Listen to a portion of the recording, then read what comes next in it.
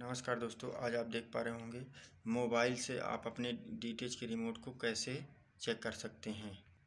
अब इसे आप देखेंगे, ये मेरे पास मोबाइल है, ये मेरे पास फ्री टू एयर के डी बॉक्स हैं।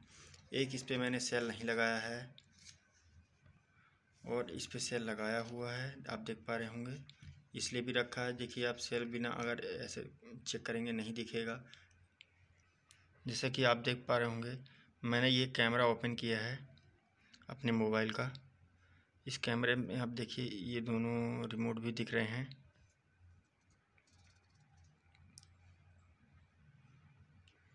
इसको आप चेक करेंगे।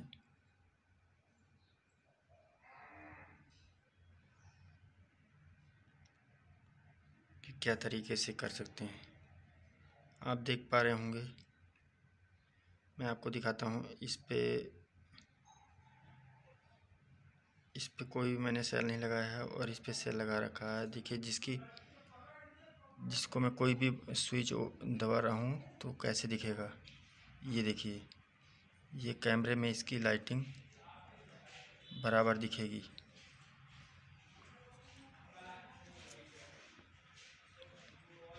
अब आप देख पा रहे होंगे आगे, ये मैंने आमने सामने किया है।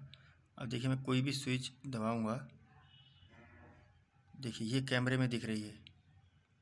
ये मैंने ऊपर मोबाइल लिया हुआ है, कैमरा ओपन किया हुआ है जिस पे आप देख पा रहे होंगे। ये कोई भी आपको, इससे आपको ये जानकारी हो जाएगी, जैसे कि आपका मोबाइल में बाकी में सेल ख़त्म है या कि क्या ख़त्म है, ये सारी चीज़ें। इससे मोबाइल इससे कोई भी आप डिटेच का रिमोट हो, आप उसको चेक कर सकते हैं बराबर। देखिए, अभी भी ऐसे ही है। ये पूरा दिखेगा।